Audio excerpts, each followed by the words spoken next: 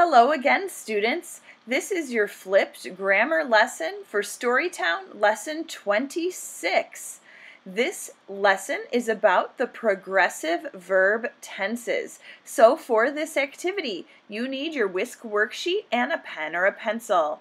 Then on your WSQ worksheet next to unit of study, please write progressive verb tenses. And then in the W section, write when and where you watched this video. Now we're ready to get started. As usual, let's have a quick review. These are the principal parts of verbs which we have been working with over the past several weeks. Remember that verbs have four basic forms. The first is the infinitive form, which is the form that is used with the word to, such as to go or to write. This form of the verb is used for the present and future tenses. Then you have the past tense form of the verb, which usually uses ed, but sometimes is irregular. Next, you have the past participle form of the verb, which sometimes is the same as the past tense, using the ed or an irregular form. Past participle is used with has, have, or had to make the perfect tenses. This week, we'll be focusing on the final form of the verb, the present participle. So let's take a look at what that means. What do planets like to read? Comic books! Oh! The present participle form of the verb is the form of the verb that uses the suffix ing. It's always this form of the verb, and so the only thing you really need to remember are the spelling rules. The spelling rules are listed for you here on the screen, and they are all things you should know from previous years of study. Why did the sun go to school? To get brighter. Now, here's how we use the present participle. We use it to make something called the progressive tense. The progressive tense is a tense that shows action that is ongoing. It can be past, present, or future. But to make the progressive tense, you use the present participle form of the verb, which remember is the ing form. Along with that present participle form of the verb, you will use a to be form of the verb as a helping verb. Remember, these are your tricky verbs am, is, are, was, and were. And for future progressive, you will use will be. What kind of music do planets listen to? Neptunes. So here we go.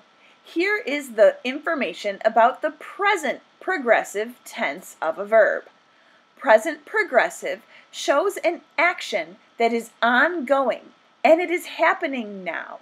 In order to form the present progressive form of the verb, you would use a helping verb am, is, or are, and that present participle or ing form of the verb. So, for example, we can say, Every day at the planetarium, people are learning how to drive a space rover. This is the present progressive tense because it used the helping verb are along with the present participle learning with the ing at the end. Do you know when the moon has had enough to eat? How? When it's full. Next, let's look at the past progressive form of a verb. Past progressive shows an action that was ongoing in the past. In this case, for past progressive, you will use was or were as the helping verb. But just like for present progressive, you will use the present participle, which is the ing form of the verb. So, for example, we could say, Many children were playing on the steps of the planetarium. Were is the helping verb that shows it's the past tense, and because we used the present participle, or ing form, playing, put it together, we have past progressive tense. And say to the cat. Take me to your litter. Finally, we have the future progressive tense. The future progressive tense shows an action that will be ongoing in the future. In order to form the future progressive tense, you use the helping verbs will be. And once again, you also use the present participle, which is the ing form of the verb. So, for example, we could say, Every year, many students will be learning about the planets. This is future progressive because it uses the helping verbs will be and the ing form of the verb to make the present participle. That's it. Now you just need to make sure to finish your WSQ worksheet. In the S section, write a five sentence summary of what you learned from the video.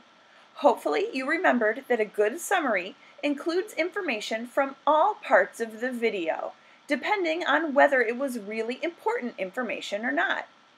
Then, in the Q section, write a question you might have about something you did not understand in the video. Again, if you have no questions, then create a test question for your classmates, and maybe you'll see it end up on the quiz this week. Make sure you have your assignment completed on time and turned in by the due date, and we'll see you next week.